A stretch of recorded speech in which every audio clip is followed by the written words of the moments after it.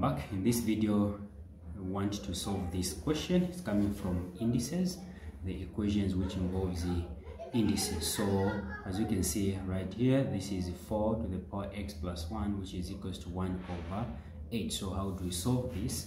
Okay so we first have to transform this part so that it is not a fraction anymore. So how are we going to do that? So we're going to do that you know by using one of the laws of indices and any number which has been divided by 1 it means it has it had a negative power. So in this case we expect 8 to have been negative uh, you know 8 to the power negative 1 like this. So you have to get rid of the negative by dividing by 1 okay so we're going to write it in this format so that we can solve the equation so easily. So we copy the first part.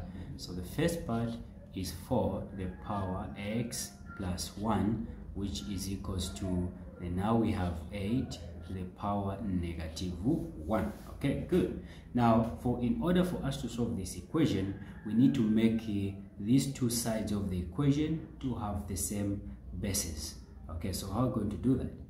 Uh, we can't make this one 4 to become the base of 8 neither can we make 8 to have the base of 4 so probably we must have other numbers. So we find the what number can we power uh, let's say 2 in this case to get 4 so we're going to see that uh, it's a 2 itself. So then on top remember there is the, x plus 1 okay don't leave out that we need that. Okay then which is equals to the same 2 which we have there we're going to put it the other side. And we say what number can we power 2 to get 8 and uh, that's a 3 remember there is a negative 1 there.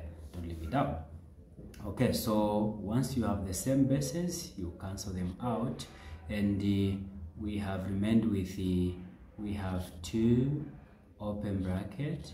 We have x plus 1 which is equals to negative 3 obviously. So you multiply 2 with everything inside the brackets there. So 2 times x we are getting the 2x and the 2 times positive 1 we're getting the positive 1 which is equals to negative 3 so the 1 is going the other side.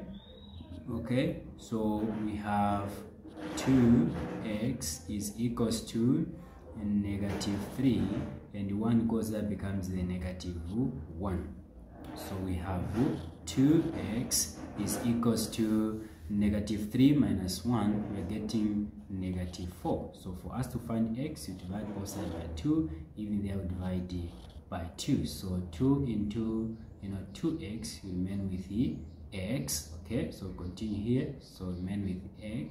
So we say let me just divide like that. So we say x is equals to 2 into negative 4 we're getting negative 2 thank you so much for watching. Remember to subscribe to my youtube channel and share the video and leave some comment in the comment section below and i'll be you know going to reply to your queries. Okay thank you so much